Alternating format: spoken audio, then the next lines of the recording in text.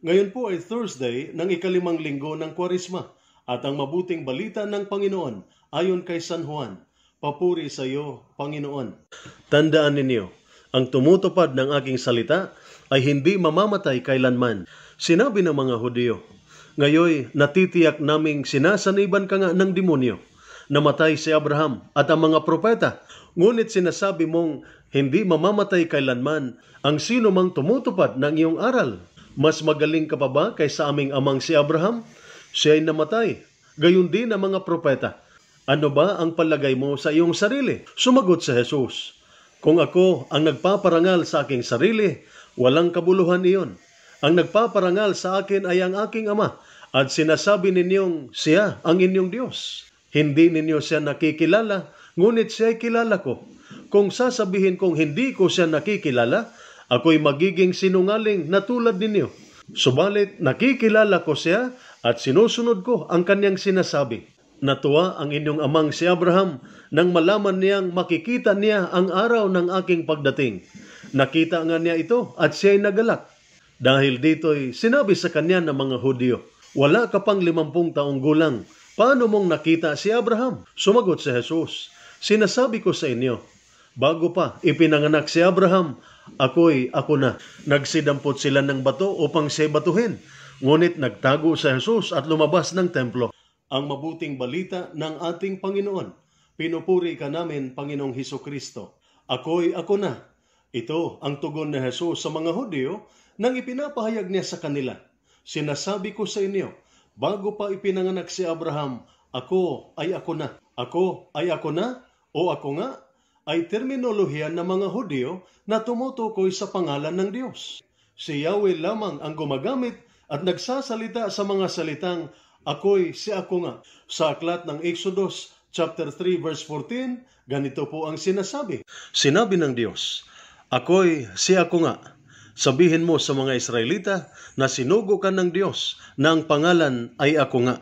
Inihayag ni Yahweh ang kanyang sarili kay Moses sa eksena ng burning bush nang sinabi niyang ako ay ako nga. Nang ipinakilala ni Jesus ang kanyang sarili sa mga Hudyo bilang ako nga sinasabi niyang hindi lamang siya mas mataas pa kay Abraham. Siya ay ka-level ng Diyos. Siya ay kapantay ng Diyos. Sa pasimula pa'y siya ay kasama at kapiling ng Diyos. Ngunit hindi ito matanggap ng mga Hudyo. Para sa kanila ito ay isang blasphemy o kalapastanganan. Kaya nagsimula silang dumampot ng bato upang batuhin si Jesus. Ngunit nagtago si Jesus at umalis. Nagtago si Jesus at umalis. At bakit? Hindi po dahil natatakot si Jesus. Hindi po dahil siya ay naduduwag at ayaw niyang harapin ang consequence ng kanyang mga ginagawa. Nagtago si Jesus dahil hindi pa niya oras hindi pa dumating ang kanyang panahon at ang oras na tinutukoy dito ay ang kanyang darating na pagpapakasakit, pagpako at pagkamatay sa krus at ang kanyang muling pagkabuhay. Ginagawa ni Jesus ang lahat ayon sa plano ng Diyos. Tinutupad niya ang lahat ayon sa kalooban ng Ama. Hindi pa dumating ang kanyang oras, kaya nagtago at umalis si Jesus. Mayroon ding oras sa ating buhay na kailangan nating huminto. Ang paghinto ay hindi po pagsuko, ngunit huminto tayo para magnilay, para magpalakas, at tingnan ang ating resources. Ihinto natin ang diskusyon kung ito ay wala ng patutunguhan at nagiging confrontational. Ihinto natin ang pagbibiro kung ito ay nakakasakit na at hindi na nakakatuwa. Ihinto natin ang relasyon kung ito ay nagiging one-sided at mali.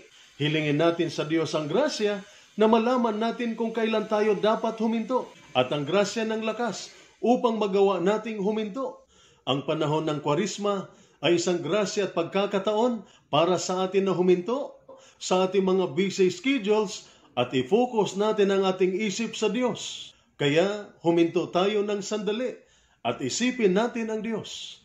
Muli, bakit po nagtago at umiwas sa Jesus sa mga Hudyo? Ito po ang salita ng Diyos, ang ating gabay. Let us pray. Lord God, Almighty Father, Creator of mankind and author of peace, those who take refuge in you will be glad and forever will shout for joy. Protect our soldiers as they discharge their duties. Protect them with the shield of your strength and keep them safe from all evil and harm. Grant them courage and hope.